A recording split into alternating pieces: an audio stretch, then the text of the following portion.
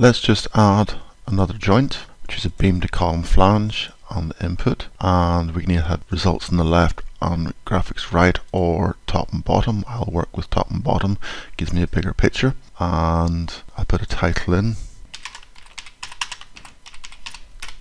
Two minute joint and it's going to be bolted. Forces just go in 450, 340, 175, end of haunch 250 and yes. So let's take our column I'm going to change that from 101 to 125 take our rafter change that from 74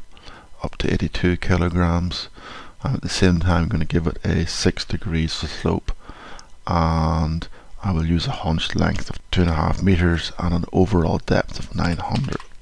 so there's my basic configuration of the joint I just need to pull up this row of bolts. So just go to bolts and the bottom and change that up to 100 now you can either do them manually or in my case I can just go and say you design it for me 90 centers and just automatically puts the compression stiffener in two rows of bolts top two bolts of bo bolts bottom and close.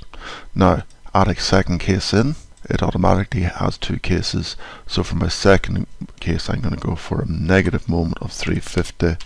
and a negative shear of 300 and a negative axial of 75 and we will see that we have a tension